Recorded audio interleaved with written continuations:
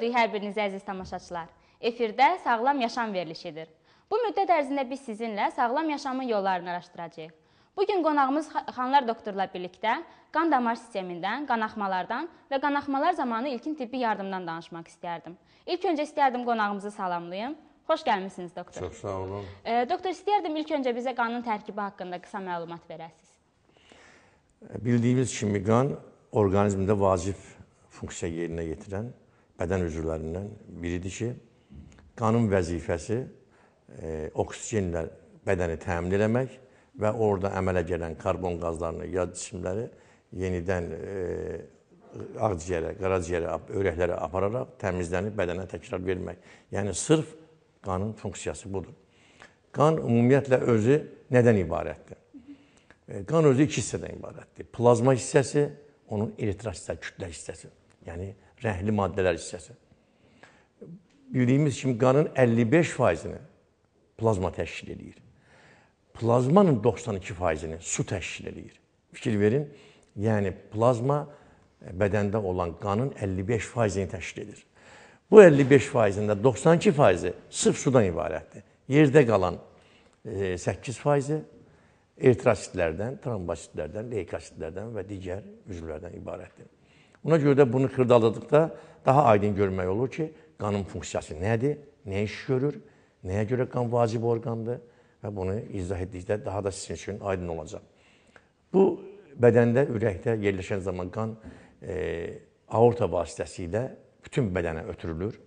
Yəni sıxıntıda biz bunu görürük ki, böyük qan dövranı, kiçik qan dövranı deyən bir bədəndə funksiya var ki, böyük qan dövranının işi budur ki, aorta vasitəsilə eritrositlə, e, oksigenlə zəngin qan bədənə ötürülür və bütün bədən bunun vasitəsilə oksigenlə təmin olunur.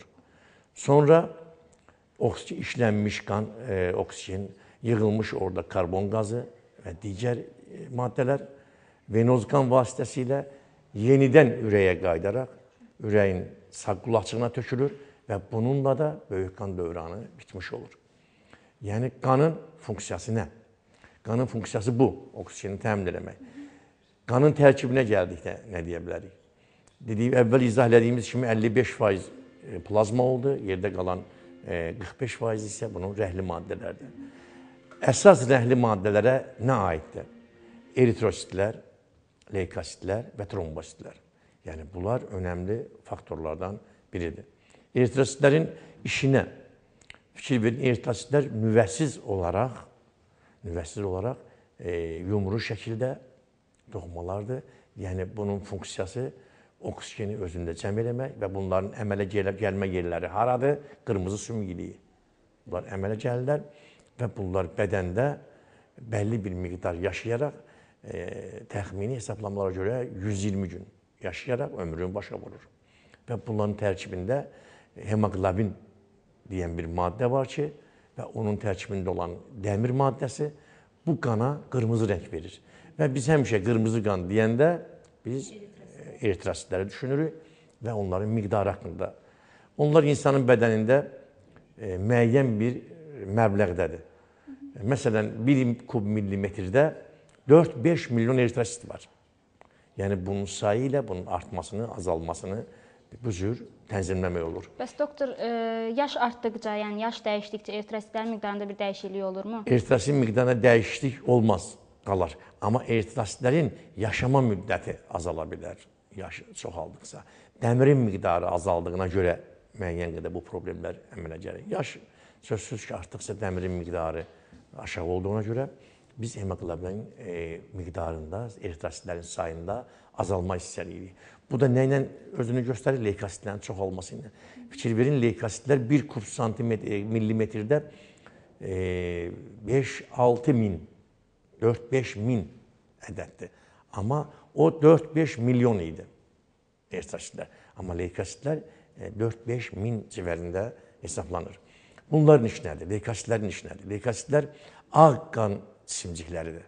Bunlar bədənə düşən yad maddələri, yad cisimləri udmaqdan ötürüdür və zərərsizləşdirməkdən ötəridir. Yəni bədənin qoruyucu funksiyasını yerinə yetirir.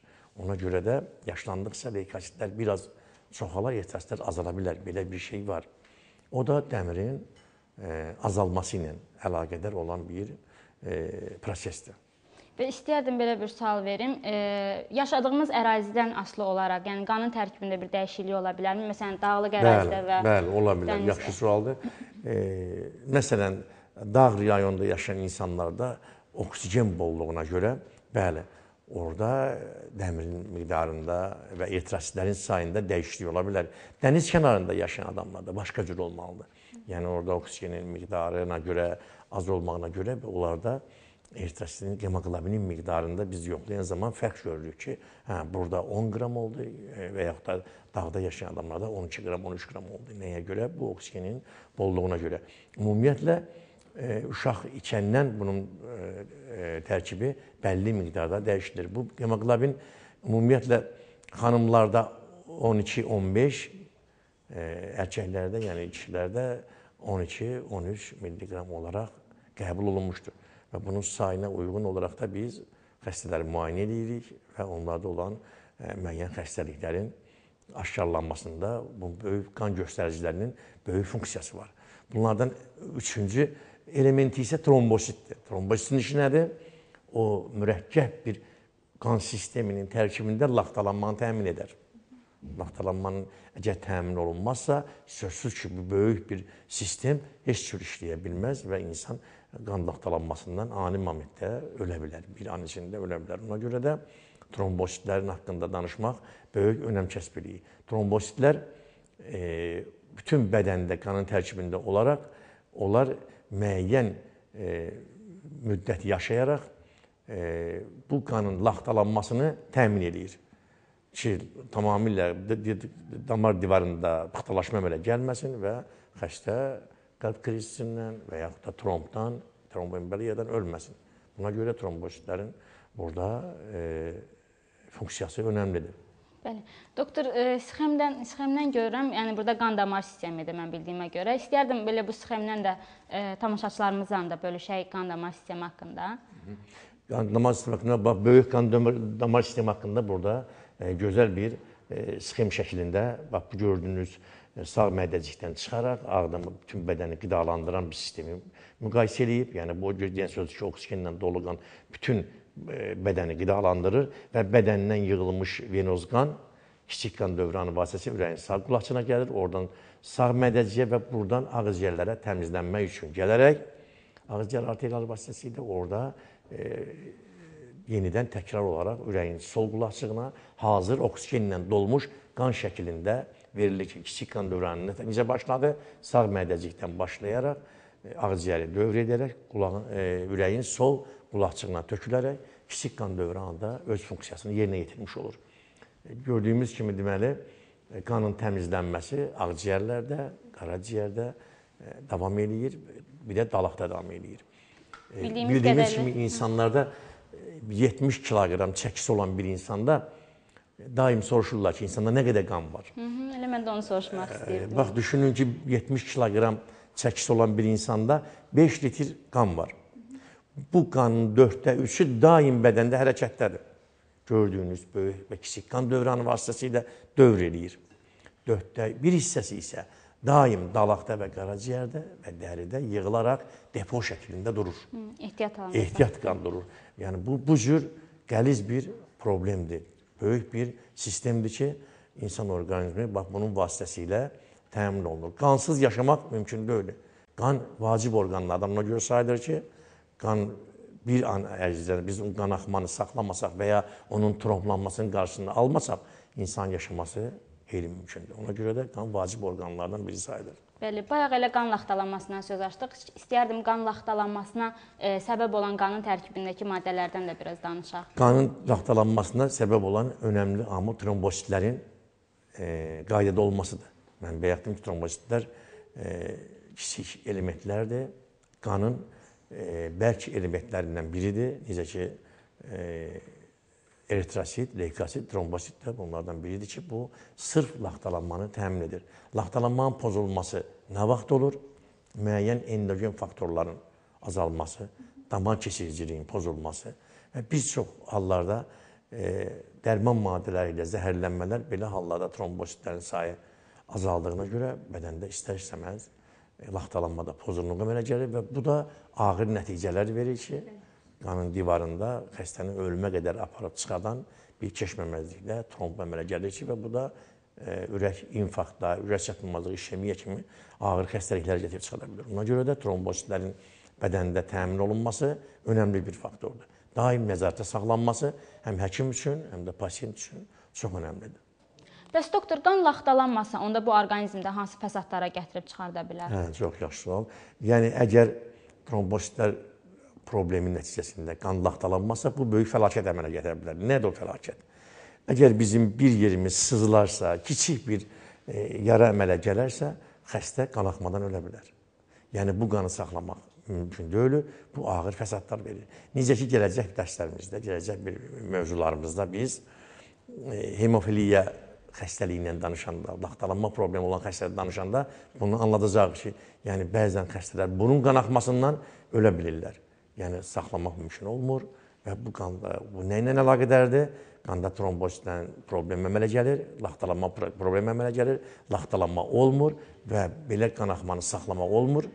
Bəzən də daxili qanaxma olan xəstələr tezliklə həyatını qayb edir. Niyə? Onun qanaxmasını saxlamaq mümkün olmur. Bax trombozitlərin vacib əhəmiyyəti bu.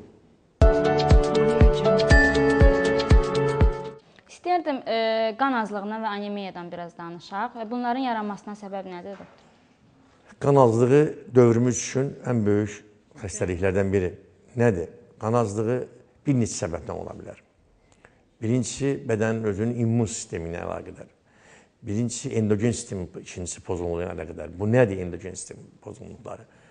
Bədəndə olan e, eritrositlərin sayının azalması, leykositlərin çoxalması, e, dəmirin həddən artıq azalması və bu anemiyalı xəstəliyə gedib çıxa bilər. İkincisi, hansısa bir qəzadan sonra çoxlu qan itirmə. Bu da gedib anemiyaya gedib çıxa bilər. Üçüncüsü, kimyəvi maddələrlə zəhərlənmələr. Belə hallarda xəstələr anemiya halına düşür. Bu anemiya nə deyən sözdür? Bədəndə qan azlığı nə, hansı fəsadlar verəcək? Görərsiniz ki, belə xəstələr halsız oldu.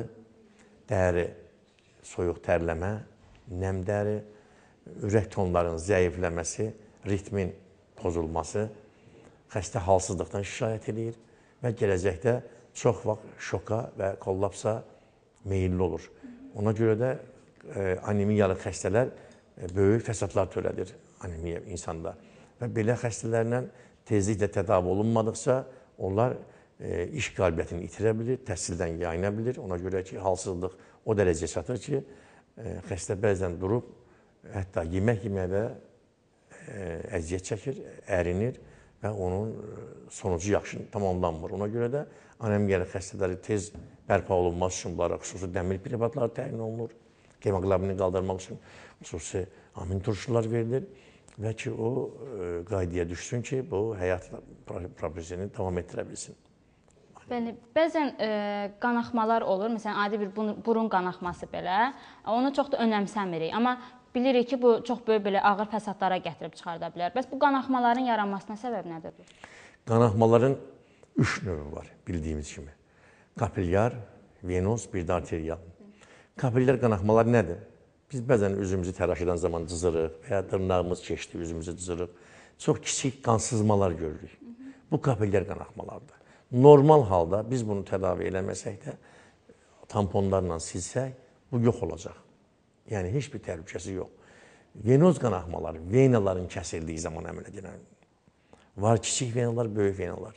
Bunların kəsilməsi zamanı əmələ gəlir. Bu biraz təhlükəli. Nədir? Qanaxma 1 litrdən çox olarsa artıq həyat üçün təhlükə artır. Ona görə də bu venoz qanaxmalarda biraz ehtiyatlı olmaq. Arterial qanaxmalar isə daha təhlükəli.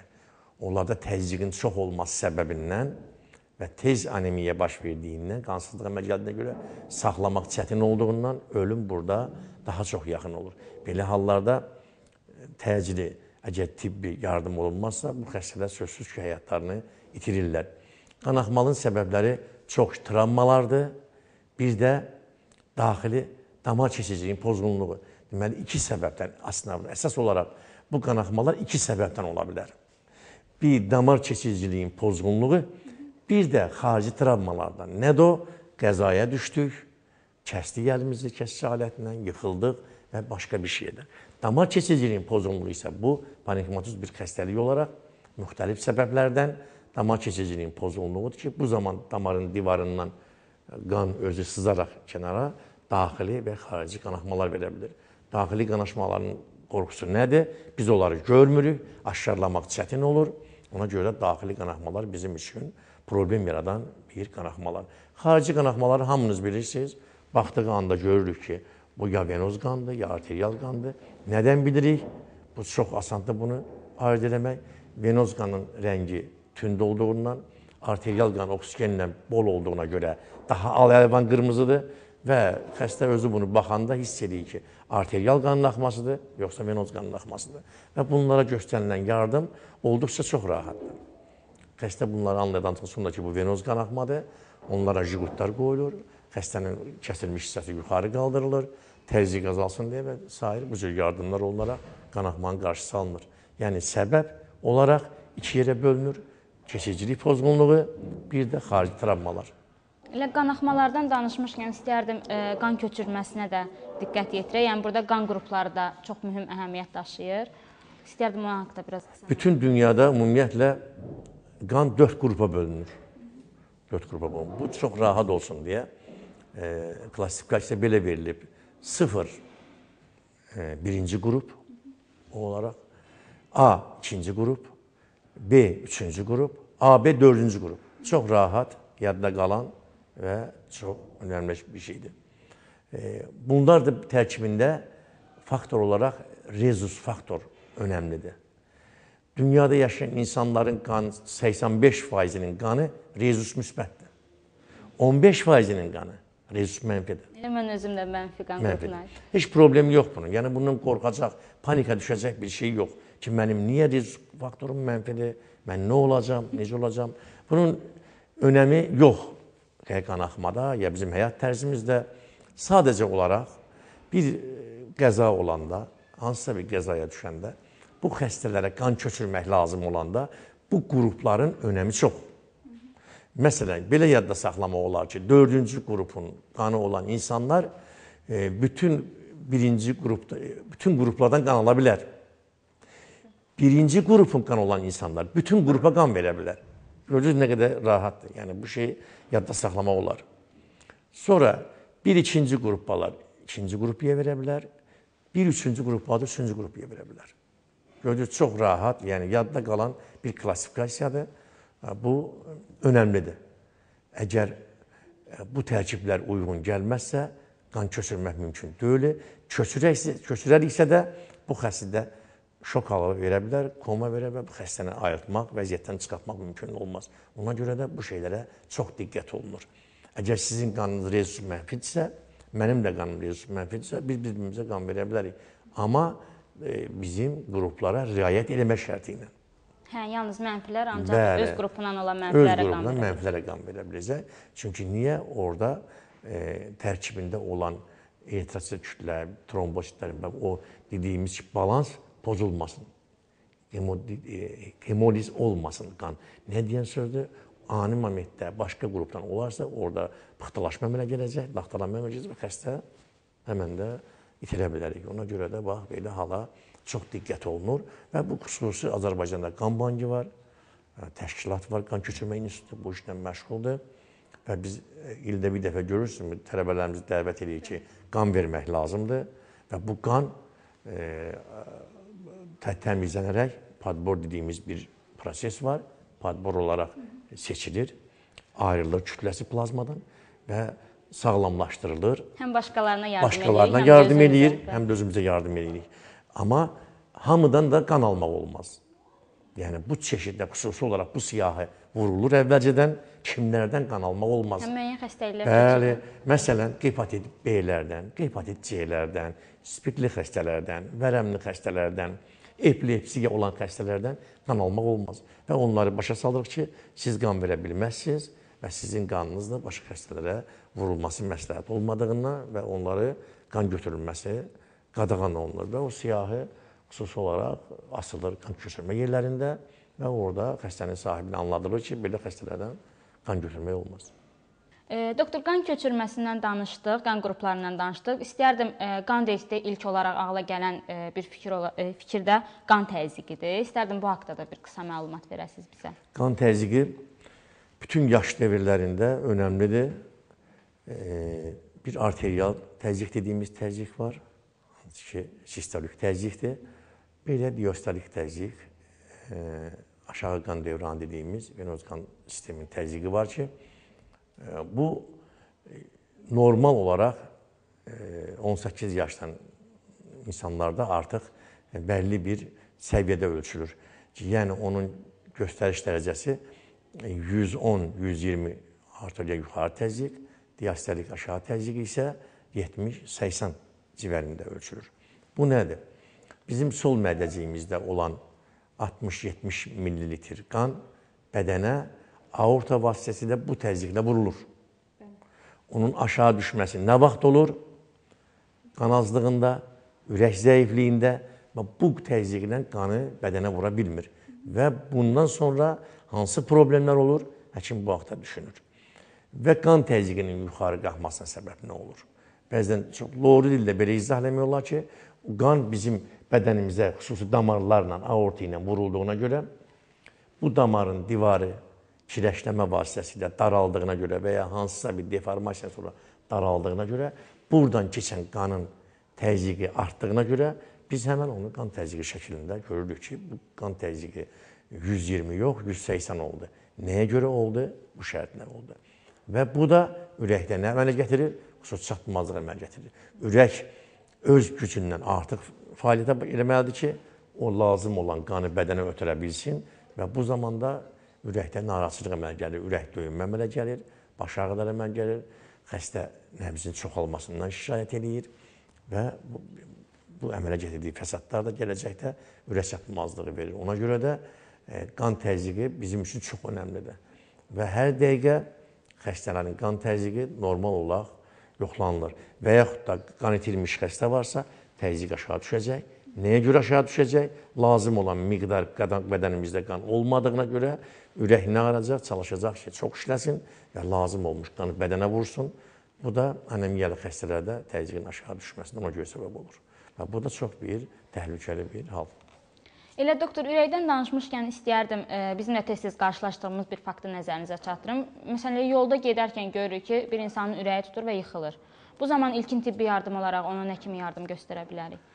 Biz əvvəlki söhbətlərimizdə çox danışdıq ki, nəyə görə ürək tutmaları əmələ gəlir? Bir neçə səbəbdən əmələ gəlir. Ürək tutmaları biz əvvəl dedik ki, qanın laxtalanması problemi əmələ gələndə ürəyi qidalandıran taj damarlarının tutulması nəticəsində ürək tutmaları əmələ gələ bilər. Nə olur? Ürəyin özünün qidalanması pozulduğuna görə bu zaman ağrı şəklində və ya kollaps şəklində ürək tutmaları verir və xəstə hərəkət etməkdən dayanır, ağrı onu şoka salaraq və bəzən də huşunu itirməsinə səbəb olur. Bu zaman nə etmək lazımdır? Sadəcə olaraq xəstənin tərpənməz vəziyyət vermək, tamamilə sakitlik, ağrı kəsici dərmanlar vermək və təcili həkimə zəng eləmək ki, bu adamlar kardioqram olunsun, ürəyin hansı vəziyyətdə tutulmasını, damarların hansı vəziyyətdə tutulmasını ayırd eləmək və sonradan tədaviyə başlamaq. Ona görə də ürək tutmaları olan xəstələrə heç bir hərəkət eləmək olmaz. Sakitlik oturmaq və onlara ürək qidalandırıcı, valeriyan və ağrı kəsici bir dərman verməklə işimizi bitmiş hesab edirik. Və sonradan həkim briqadası gələrək kardioloqlar bunun kardioqrammasını çıxarır, ekokardioqramma olunur və tutulmanın hansı nöqtəsi olması ayırd olunur və dururlaşdırıcı dərmanlarla oğlanın qidalanması təmin olunur. Elə söhbətimizin bu yerində istəyərdim tələbələrdən gələn suallarımızı da sizə ünvanlayım. E, tələbəmiz belə bir sual verib ki, həm qan azlığı olub, həm də yüksək təzyiqin olması. E, bunun səbəbi nələrdir? Bildiyimiz kimi qan azlığı olanda biz əvvəl izah edirik, ürəyin funksiyası nə olur? E, qan azlığı əmələ gələndə ürək çalışır ki, normal ritmini saxlasın və bədənə həmişə göndərdiyi normal 60-70 qram qanı göndərsin mililitr qanı. Qan azlığı olanda nə olacaq? ürək bunu çatdıra bilmir. Çünki hər dəfə vurulan qanın miqdarı azalır. Ürəyə yuxarıdan kiçik qan dövran gələn qanın miqdarı azalır və ürək bunu çatdıra bilmir. Bu zaman Həmçinin də bizim aorta damarlarda, e, arterial damarların divarının daralması müəyyən səbəblərdən, aterosklerozun xəstələnməsi gəlməsində daralmasından lazım olan qan bədənə vurula bilmir. Bu zaman deməli həm anemiya olur, həm də xəstə hipertonik olur. Xəstədə təzyiq yuxarı yüksəlir. Nəyə görə? O lazım olan təzyiqlə damardan keçə bilmir. Damar divarları tutulduğuna görə, keçə bilmədiyinə görə o xəstə təzyiq əmələ gəlir. Amma ürək nəyə görə burada öz ritmini artırır, lazımi qədər qanı bədənə təmin etməkdən ötəri. Bu zaman xəstədə ürək döyünmə olur, tezləşmiş tənəf e, nəbz olur, amma baxmayaraq ki, xəstə anemiyalı xəstədir, həmçində təzyiqi yuxarı olaraq qalır. Bax bunun səbəbi. Doktor, e, tələbələrimizi maraqlandıran suallardan biri də tez-tez rast gəlinən burun qanaxmalarıdır. Bunların yaranma səbəblərindən istəyərdim danışaq. Burun qanaxmaları 18 yaşa qədər olan uşaqlarda təhlükəli sayılmaz. Nəyə görə? Burun çəpərinin nazılması deyən bir yer var.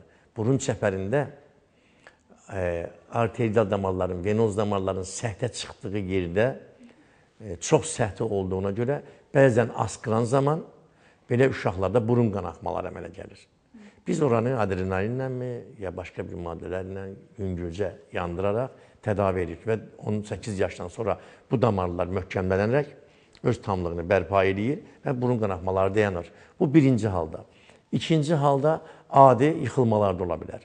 Burun daim açıq sahədə olduğuna görə bir yerə çarpılma hissi, dəymə hissi və ya idmançılarda daha çox qırdağın sınma hissəsi bu normal qanaxmalardır və bu zaman tamponada olunur. Bəzən heç əməliyyata ehtiyac qalmır. Tamponada eləməklə, çünki bu venoz qanaxma olduğuna görə dayanması da rahatdır. 3-5 dəqiqə ərzində xəstənin burnundan qan dayanır və tamponlar çıxarılaraq normal həyatını davam edir.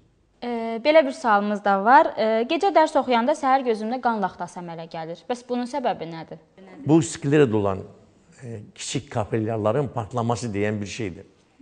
O qədər qorxulu bir şey deyil, amma gələcəkdə göz təzyiqinin artması olar deyə belə xəstələrə məsləhət bildirir ki, dirəşərək oxunmasın, eynək taxsınlar, gecələr normal işıq olmasa oxumasınlar. Çünki bir neçə dəfə bu kapilyaların partlaması gələcəkdə görmə sahəsinin daralmasına əmələ gətirə bilər, çıxada bilər. Və göz həkimləri həmişə xəbərdarlıq edirlər ki, işıq normal olmasa, düşmə sahəsi normal olmasa və yaxud da görməsi normal olmasa, dirəşərək oxumaq məsləhət deyil və eynək taxılması daha məsləhətdir. Bəzən qızlarımız eynək taxmaqdan daha çox yayınırlar, amma eynək taxmaq daha məsləhətdir gələcəkdə gözünüzü qorumaqdan ötəri ki, görmə sahəsi, görmə bucağı düzgün olsun və göz dirəşərək oxumasın və bu qırmızılar da əmələ gəlməsin. Aydındır. E, bəs doktor, bəzi insanlarda elə mənim özümdə də məsələn belə görürük, e, damarlar üzdədir e, bu məsələn hansısa bir fəsadlara Heç bir fəsad gətirə bilməz. O incə olur, bizdə yerləşməsi ilə əlaqədardır. Bəzən insanlarda daxildə, çox daxildən, bəzi də dəyəraltı sahədə venalar görünür. Bu nə ola bilər? Düzgün qidalanma, düzgün xidmət olmazsa gələcəkdə varikal genəlmələrə daha meyil ola bilər belə xəstələr. Bunun başqa heç bir adi bir yerə dəyəndə belə o saat Hə, partlayır. ona görə də bu sahələ gözləmək lazımdır, ehtiyatlı olmalıdır ki, bu adamlar onlarda laxtalanma da qanun qaydada olsun, e, damara xidmət də yerində olsun. Niyə bu gələcəkdə e, damar genişlənməsi və yaxud da ki, varikal dediyimiz bir genəlmə əmələ gəlməsin və xəstələrin gələcək həyatında heç bir başqa e, necə astrologiya, yəni bir ağırlaşma verə bilməz. E, doktor, dəyərli vaxtınızı bizimlə bölüşdüyünüzə görə sizə öz dərin minnətdarlığımı bildirirəm. Yenə də gələn görüşlərdə görüşmək ümidi. Sağ olun, mən də sizə sağlam həyat, sağlam can, sağlam yaşam həyat arzulayıram. Çox sağ olun.